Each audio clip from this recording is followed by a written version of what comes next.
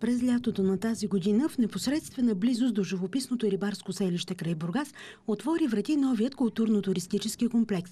В неговите музейни пространства, посветени на морето и рибарския занаят, могат да се видят интересни артефакти и експонати.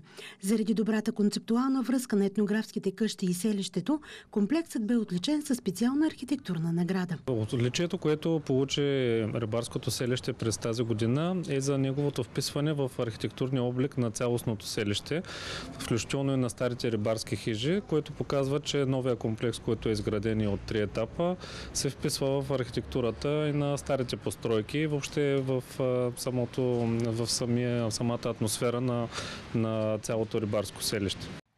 От Бургаската общинска администрация са убедени, че архитектурният ансамбъл съчетал древния поминък с модерната визия и за напред ще получава още награди и престижни отличия. В момента етнографския комплекс е номиниран за сграда на годината в цялост с трите си етапа, заедно с благоустрояването и предстои в средата на декември да разберем дали той ще бъде отличен като една от най-добрите сгради, изградени в България през годината в категория обществено обслужване културни, културно-исторически и туристически комплекси.